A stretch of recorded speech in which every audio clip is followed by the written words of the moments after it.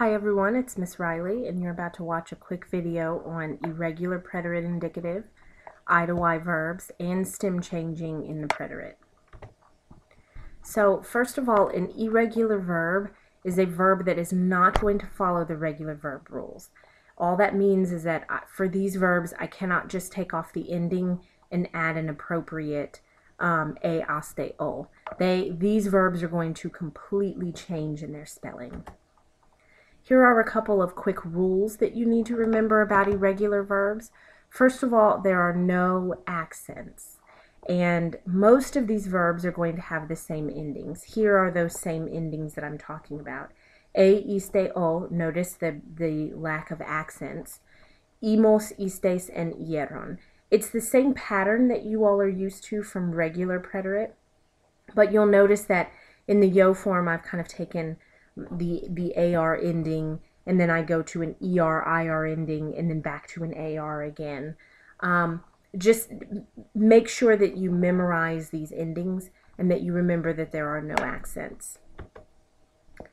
Here are a list of some of the irregular verbs that you all learned in Spanish too. Keep in mind that there are other verbs, but these are the ones that you all are responsible for.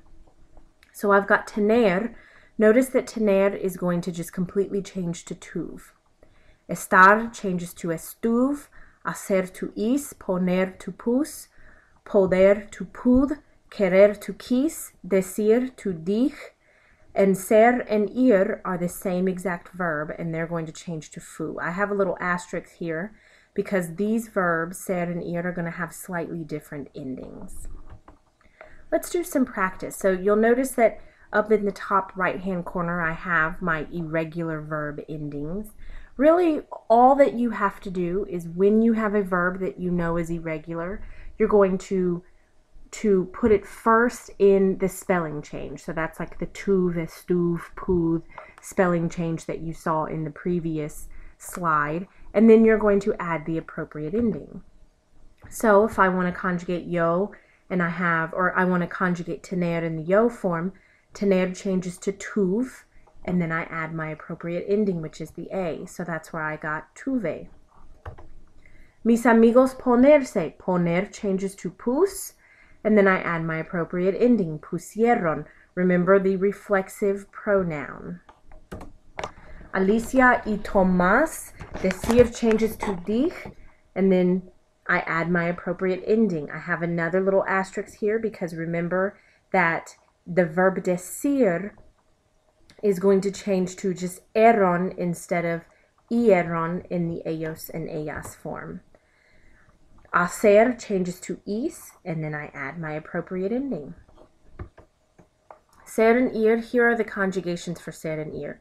You'll notice in the yo form it is not the e. And then down here, it, the verb is fue. There is no o here. So in the yo form and in the el, ella, and ustedes forms, the, or in, excuse me, just in the el and ella form, that's where you see the differences. Hacer, notice that in third person singular, my C changes to a Z. And that's because I want to maintain the S sound of the infinitive, hacer. And if I kept the C there, a C and then an O makes a K sound. So I change my C to a Z to keep that S. Decir, here are the conjugations of decir. Again, you'll notice the ellos and ellas form. It's dijeron, not dijeron. Okay, let's talk about I to Y verbs. First of all, an I to Y verb are going to be ER and IR verbs that end in a double vowel. What does a double vowel mean? Here are some examples. Leer, so I've got my ending, my ER, and then right before I have an E.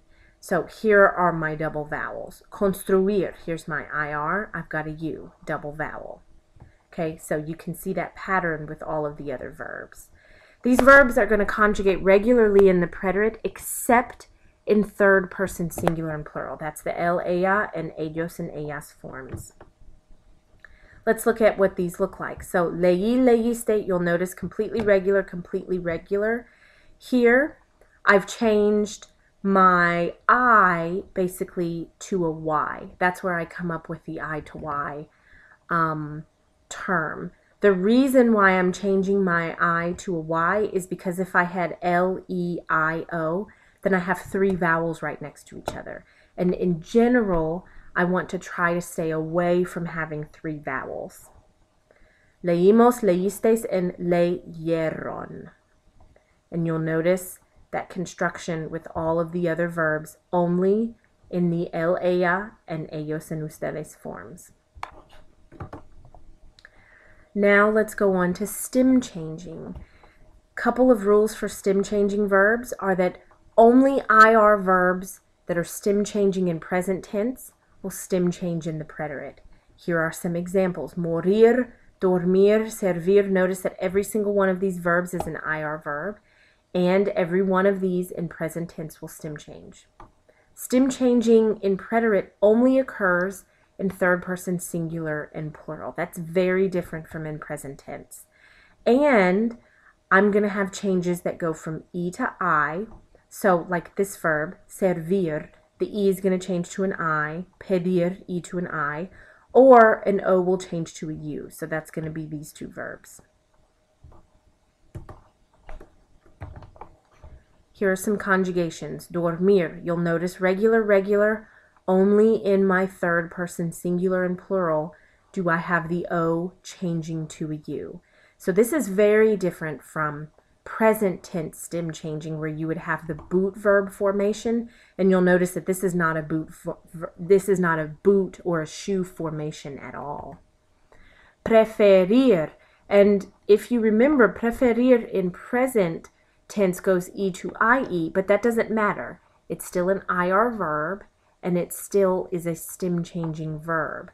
So in el ella usted and in the ellos forms, my e changes to an i. Prefirio. That looks kind of weird. And then here's the conjugation for pedir. And there you have it.